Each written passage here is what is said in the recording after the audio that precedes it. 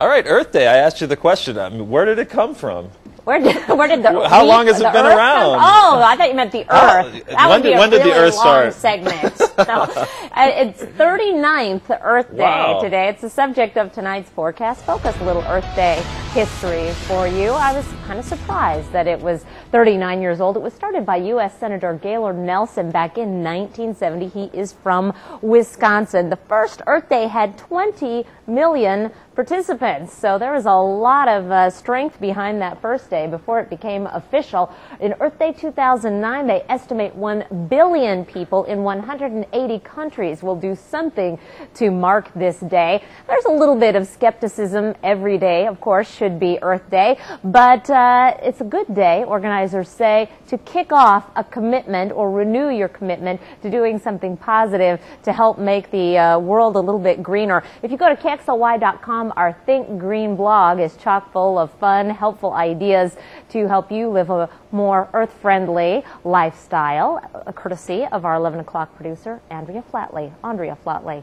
It is 58 degrees right now in Spokane, 59 degrees in Coeur d'Alene, 64 currently in Moscow and Pullman, in the 70s right now in Lewiston. We also made it into the 70s in Kalispell. But that won't be long because we have a cold front moving through. It is producing some very light showers up in North Idaho and in northeastern Washington. These will be very isolated overnight, a sprinkle or two, if anything. The main effect with the cold front, in addition to the cooler uh, weather, Gusty winds around the region. Southwest winds sustained right now in Spokane at 20 miles per hour. The gusts already starting to settle down this evening. We've seen wind gusts in the 30 mile per hour range.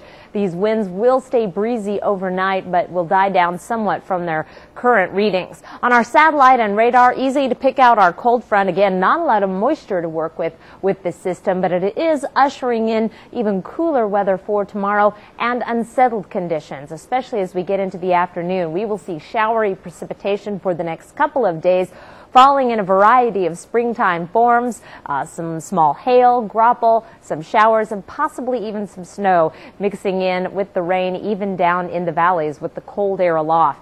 Not a lot of action on our national map. We do have showers throughout the northeast. Only one spot where we're finding severe weather tonight with a severe thunderstorm warning just to the west of Wichita. Your seven day outlook, a cooling trend for the next couple of days. We made it up into the lower 60s today. We're only in the lower 50s for Thursday and Friday with a good chance of showers tomorrow.